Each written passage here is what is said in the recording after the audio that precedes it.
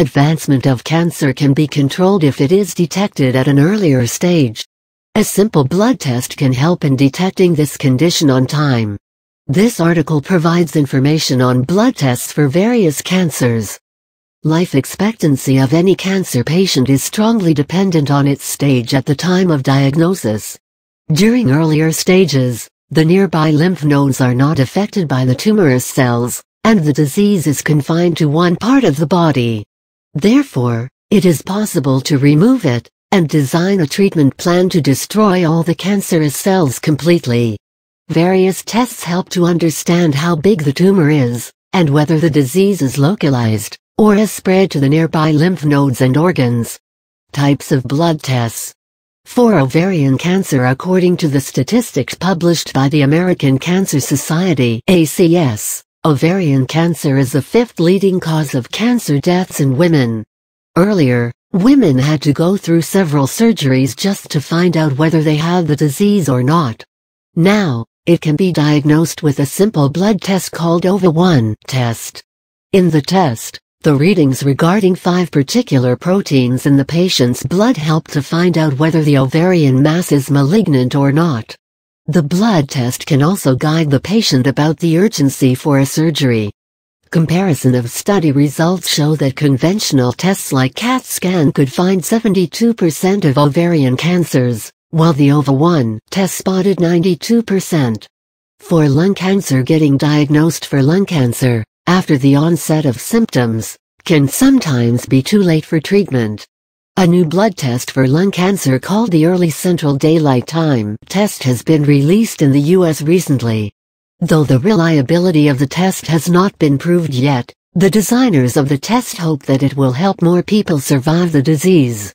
The researchers say that the test can detect defenses released by the human body, while reacting to the changes caused by cancerous cells during earlier stages. This test has a 40% success rate in identifying the disease. The test was developed after 15 years of research. For colon cancer people generally avoid the painful colonoscopy procedure, consequences of which can sometimes be disastrous. According to the statistical data published by the ACS, Colon cancer is the third most common cancer found in America, and about 50,000 Americans die every year due to it. The CD24 test can detect cells of colon polyps, the precursors to colon cancer, in the blood, with a very high degree of sensitivity and accuracy. This test is painless, non-invasive, and inexpensive. Through this test, individuals prone to colon cancer can be distinguished and then be suggested to undergo a colonoscopy. The test helps the doctors to catch polyp growth in the colon, in almost 80% of the patients. The test can thus save innumerable lives. It checks for the oncogene for colorectal cancer called CD24 single quote. The biomarkers emitted by polyps can be identified in the blood even at very low levels. Study reports show that the test can accurately detect adenomas, the polyps that lead to colon cancer. For prostate cancer doctors often use the FDA-approved prostate-specific antigen PSA test and digital rectal exam DRE test to diagnose prostate cancer. Both the tests together can help doctors detect and confirm the diagnosis of this condition, even in those patients who experience no symptoms of the disease.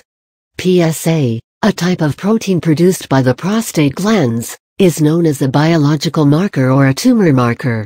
Low level of PSA in the blood in men is considered normal, but increased levels indicate prostate cancer. It may also indicate other benign conditions which are quite common in men over 60.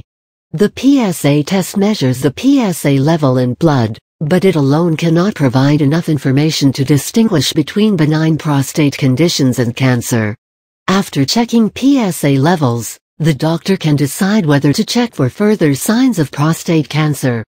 PSA test also helps to monitor patients who have a history of the illness.